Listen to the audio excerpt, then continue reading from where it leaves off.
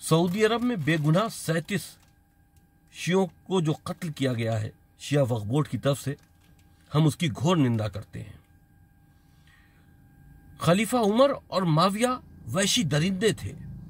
उनके मानने वाले वहाँ भी सुन्नी आज पूरी दुनिया में दहशत का माहौल और आतंक का चेहरा बन चुके हैं। बेगुनाह लोगों का कत्ल कर रहे हैं। सऊदी अरब के वहाँ भी सुन्नियों को यह बात समझनी चाहिए। कि गर्दनें उनके पास भी हैं और तलवार उनकी गर्दन तक भी पहुँच सकती है।